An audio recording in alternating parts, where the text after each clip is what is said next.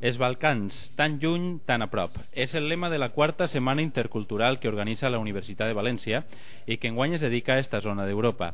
A l'acte de presentació han acudit representants de la universitat, del govern autonòmic i de Bancaixa, el principal patrocinador, i els ambaixadors de Croàcia, Bulgària, Macedònia, Sèrbia, Bòsnia i Herzegovina i Albània.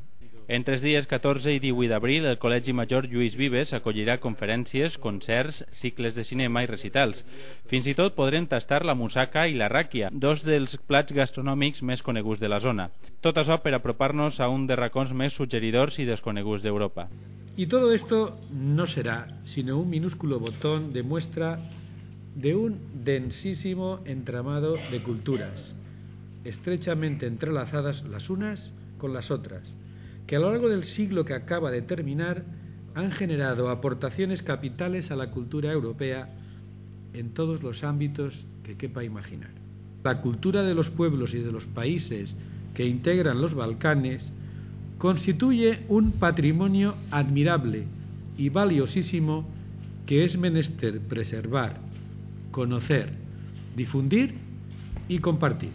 Para apreciar los Balcanes es necesario conocerlos. Y para conocerlos es preciso deshacernos antes de los mitos, los lugares comunes, las falsas generalizaciones y hasta los prejuicios con los que demasiado a menudo miramos hacia este rincón de Europa.